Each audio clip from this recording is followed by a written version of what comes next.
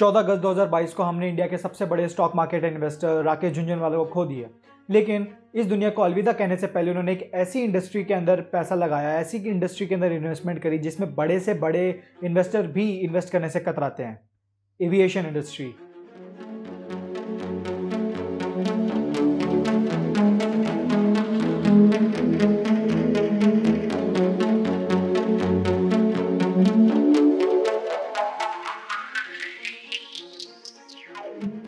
Aviation industry ने बहुत बड़े बड़े दिग्गजों के पैसों को डुबाया है।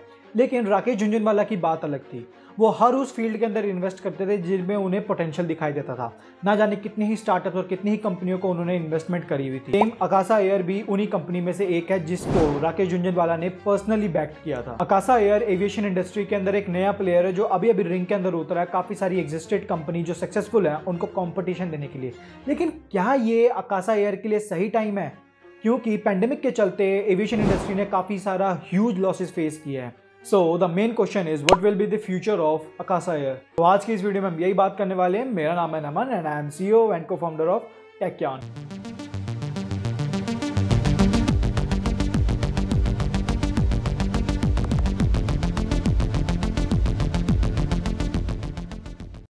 तो फ्यूचर में जाने से पहले पास्ट में चलते हैं।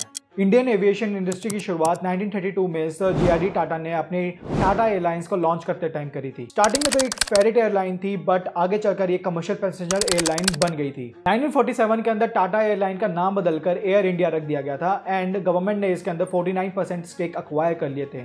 एंड आगे चलकर वो 1948 के अंदर एयर इंडिया ने अपनी सबसे पहली international flight Mumbai to London उड़ान भरी थी। 1950 तक काफ़ी सारे एयरलाइन ऑपरेटर ऑलरेडी मार्केट के अंदर आ गए थे। लेकिन 1953 के अंदर इंडियन गवर्नमेंट ने एविएशन इंडस्ट्री को नेशनलाइज कर दिया एंड आठ बड़ी एयरलाइन कंपनीज़ को मर्ज कर दिया, दो बड़ी एयरलाइन कंपनीज़ के अंदर, वो थी Air India and Indian airline अब इंडियन एयरलाइन फोकस करती थी डोमेस्टिक रूट्स पर एंड एयर इंडिया करती थी इंटरनेशनल रूट्स पर. एंड एयर इंडिया जानी जाती थी अपने superior services and profitable business model के चक्के, जो कि लीड कर रहे थे जे टाटा जिसकी वजह से एयर इंडिया बहुत ज़्यादा सक्सेसफुल थी एंड बहुत ज़्यादा प्रॉफिटेबल थी. लेकिन नाइनटीन के अंदर वॉज़ एंड कुछ डोमेस्टिक डिस्प्यूट्स के चल के कुछ रूट्स जो थे वो अनप्रॉफिटेबल हो गए थे. जिसकी वजह से जो एयरलाइन इंडस्ट्री थी, वो बहुत ज़्यादा डूबने लग गई थी। एंड आग में घी डालने का काम किया था 1990s की फाइनेंशियल क्राइसिस ने, जिसकी वजह से जो इंडियन गवर्नमेंट ने एविएशन इंडस्ट्री को डीरेगुलाइज कर दिया था। एंड इसके कारण काफ़ी सारे नए स्टार्टअप्स को इस इंडस्ट्री के अंदर उतरने का मौका मिला जैसे कि जेट एयरवेज एंड काफ़ी इंटरनेशनल प्लेयर्स ने भी इंडिया की तरफ़ अपने कदम बढ़ाने चालू कर दिए थे। एंड आगे चलकर 10 सालों के अंदर ये एविएशन इंडस्ट्री इंडिया के अंदर रिवलाइज हो गई थी। Air India and Jet Airways को बहुत ज़्यादा लॉस फेस करना पड़ा था क्योंकि जो नए स्टार्टअप्स आए थे, वो बहुत ज़्यादा फोकस कर रहे थे चीप प्राइसेस के अंदर। जैसे कि इंडिगो एयरगो SpiceJet and air Asia तो इनकी वजह से जो कंपटीशन था, वो बहुत ज़्यादा हाई हो गया था। एंड ये जितने भी नए स्टार्टअप्स थे, वो एक्चुअली के अंदर बहुत ज़्यादा कम प्राइस के अंदर इन टिकट्स को सेल कर रहे थे।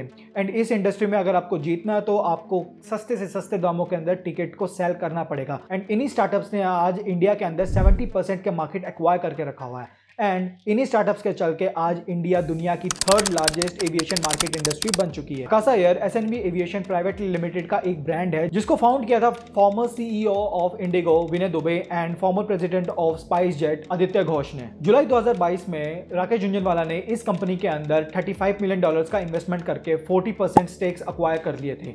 लेकिन इस इंडस्ट्री के अंदर 35 मिलियन डॉलर्स बहुत बड़ी रकम नहीं है, और ना तो ये काफ़ी है। लेकिन राकेश झुंझुनवाला अपने साथ में काफ़ी सारी और चीज़ें भी लेके आने वाले थे, जैसे कि उनका बहुत वैल्यूबल नेटवर्क दूसरा, वो अकासा एयर को फाइनेंसिंग प्रोवाइड करवाने वाले थे इंडियन बैंक से as well as international market investors से। लेकिन आखिरकार क्यों राकेश झुंझुनवाला ने अकासा एयर के अंदर इतना ट्रस्ट जताया एंड उसके अंदर इतना ह्यूज इन्वेस्टमेंट किया?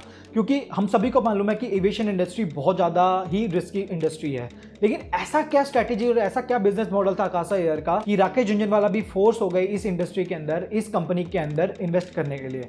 तो आइए बात करते हैं कि क्या था बिज़नेस मॉडल अकासा एयर का एंड क्या स्ट्रेटेजीज जो है वो यूज़ करेगी अकासा एयर इस बिज़नेस मॉडल को एग्जीक्यूट करने के लिए। तो पहली स्ट्रेटेजी है heavy marketing of other brands यानी कि अकाशा एयर क्या करने वाली कि दूसरे जो ब्रांड्स हैं, उनके लोगों को अपने यहाँ पे प्लेन्स की सीट्स पे लगाना या फिर उनके ब्रांड को ज़्यादा प्रमोट करना, जिसकी वजह से उनकी एक एडवर्टाइजमेंट भी हो जाएगी प्लस अकाशा एयर को इस चीज़ का पैसा भी मिल जाएगा। एंड सेकंड स्ट्रेटेजी है sales and lease back strategy इसमें होता क्या है कि जो सेलर होता है, वो अपने प्रोडक्ट को एक बायर को बेच देता है एंड बाद में उस बायर से उस प्रोडक्ट को लीज पर ले लेता है।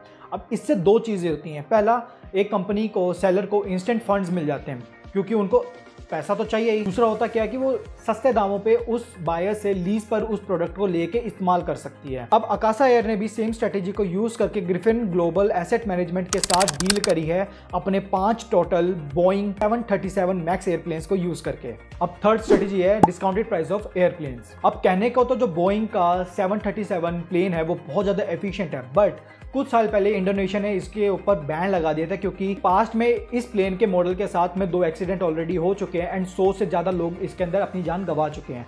लेकिन बाद में इंडोनेशिया ने इसके ऊपर से बैन हटा दिया है, लेकिन काफ़ी सारी जो एयरलाइन इंडस्ट्री है, आज भी इस बोइंग के इस मॉडल को नहीं खरीदती है क्योंकि एक ट्रस्ट इशू बन जाता है। लेकिन अब बोइंग को तो प्रॉफिट्स कमाना ही है इस प्लेन्स को बेच के। तो अकाशा एयरलाइन ने बोइंग के साथ में एक डील फाइनल करी है, जिसके अंदर इन प्लेन्स को ये बहुत ज़्यादा सस्ते में खरीदेंगे। तो अकाशा को एक फ़ायदा ये भी हो गया कि उनका काफ़ी सारा पैसा जो है वो ऑलरेडी बच चुका है। लेकिन अकाशा एयर्स को काफ़ी सारे चैलेंजेस भी फेस करने पड़ेंगे, क्योंकि देखिए एविएशन इंडस्ट्री वैसे ही खुद चैलेंजेस से भरी पड़ी है। अपने आप में एक चैलेंज होने के बावजूद भी जो कंपनी इसमें कूदती है, उसकी हिम्मत देने की बात है।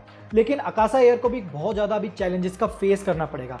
पहला चैलेंज है इंडिगो इंडिगो उसका डायरेक्ट कंपटीशन है, क्योंकि इंडिगो बहुत ज़्यादा सस्ते टिकट भी प्रोवाइड करता है एंड इंडिगो जो आज भी है, वो इंडियन के लोगों का फ़र्स्ट प्रेफरेंस है. तो उस चीज़ को टैकल करने के लिए अकाशा एयर को एक ऐसी स्ट्रेटेजी क्रिएट करनी पड़ेगी, जिसकी वजह से वो इस कॉम्पिटिशन के अंदर टिक सके. दूसरा चैलेंज यह है कि मेट्रो एयरपोर्ट्स के अंदर एक अट्रैक्टिव टाइम स्लॉट्स को बुक करना है, क्योंकि इसमें बहुत ज़्यादा पैसा भी लगता है. थर्ड है ऑपिक्स यानी कि ऑपरेशनल कॉस्ट जैसे कि मेंटेनेंस क्योंकि अगर बात करा जाए मेंटेनेंस की तो प्लेन्स की मेंटेनेंस को रेगुलर करना पड़ता है। हर दो से तीन महीने के अंदर इनकी रेगुलर चेकिंग करनी पड़ती है। यहाँ तक कि जब इनका नट कसा जा रहा है, वो भी बहुत ज़्यादा सर्टिफाइड लोगों से ही होता है, जिसकी वजह से जो मेंटेनेंस की कॉस्ट है, वो बहुत ज़्यादा आसमान छूने लग जाती है। एंड साथ के साथ में उसके फ्यूल का खर्चा प्लस एयरपोर्ट्स को यूज़ करने का खर्चा, क्योंकि एयरपोर्ट्स के रनवे को यूज़ करने के लिए आपको पैसा देना पड़ता है। वहाँ पे उनकी फैसिलिटीज़ को यूज़ करने के लिए आपको उनका पैसा देना पड़ता है। एंड सबसे बड़ी बात लेबर उनके लोग, उनके पायलट तो मैक्सिमम एयरलाइंस जो होती है, वो अपने ऑपरेशन कॉस्ट की वजह से ही मार खा जाती हैं। क्योंकि ऑपरेशन कॉस्ट जो होता है, वो ज़्यादा होता है एंड जो फेयर टिकट्स है, वो बहुत कम होते हैं। तो इस वजह से काफ़ी बार क्या होता है कि बैलेंस नहीं बन पाता एंड इनबैलेंस क्रिएट हो जाता है जिसकी वजह से मैक्सिमम एयरलाइंस का दिवालिया निकल जाता है। अब फोर्थ चैलेंज है rising competition and rising competition भी एक बहुत बड़ा फैक्टर रोल प्ले करने वाला है इस चैलेंजिंग के अंदर, क्योंकि बहुत सारी जो पुरानी कंपनीज़ थी, जैसे कि जेट एयरवेज, एयर इंडिया, अब अपनी कब्रों से निकलना चालू हो गई हैं। एंड उनको भी इस फ़ील्ड के अंदर उतर के पैसा तो कमाना ही है तो वो भी बहुत ज़्यादा रिवोल्यूशनल प्राइजेस लेके आएँगी, जिसकी वजह से एयर अकाशा एयर को बहुत ज़्यादा प्रॉब्लम फेस करनी पड़ सकती है। तो अब बात करते हैं कंक्लूजन की, कि कंक्लूजन क्या निकलता है। तो अभी अकाशा एयर को बहुत लंबा सफ़र तय करना है। जो ट्रस्ट राकेश झुंझुनवाला ने इस कंपनी के ऊपर लगाया था एंड अब उसी ट्रस्ट पे विनय दुबे एंड उनकी टीम को खरा उतरना है। एंड उसके लिए वो बहुत ज़्यादा काफ़ी मेहनत कर भी रही है। तो ये तो अब ये फ्यूचर ही बताने वाला है कि कितनी अकाशा एयर कितनी बुलंदियों को उड़ान भरती है। तो आज के लिए बस इतना ही। अगर आपको ये वीडियो पसंद आई तो प्लीज़ वीडियो को लाइक कर दीजिए, अपने दोस्तों के साथ शेयर कर दीजिए। अगर आपको ये जानने में इंटरेस्ट है कि हाइड्रोजन कार्स क्या है एंड वो क्यों स्कैम है इंडिया के लिए तो प्लीज़ इस वीडियो को जाके क्लिक कर सकते हैं।